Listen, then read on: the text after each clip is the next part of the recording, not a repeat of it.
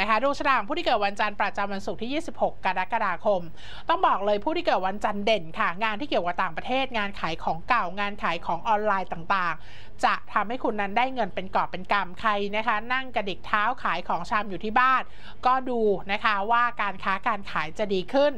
และสำหรับในเรื่องของการเงินต้องบอกเลยผู้ที่เกิดวันจันทร์ใช้เงินเนี่ยค่อนข้างเยอะ โดยเฉพาะนะคะการซ่อมแซมต่างๆนะคะบางท่านบอกว่าปกติฉันก็ไม่เคยรู้หรอกว่ามันมีรอยรั่วอยู่ตรงนี้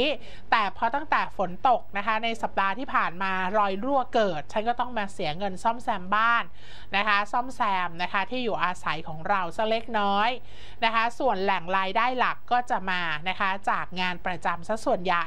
และสำหรับในเรื่องของความรักนะคะ ถ้าผู้ที่เกิดวันจันทร์ท่านใดโสด แล้วมีความรู้สึกว่าถ้ามีคู่แล้วมันเหนื่อยมากอยู่คนเดียวค่ะ อยู่คนเดียวแค่ช่วงนี้นะไม่ได้ให้อยู่ยาวก็อยู่ไปเรื่อยๆจนถึงสิ้นเดือน ต้นเดือนหน้าค่อยว่ากันใหม่เรื่องความรักนะคะ และนี่ก็คือดวงชะตาของผู้ที่เกิดวันจันทร์ค่ะคุณผู้ชม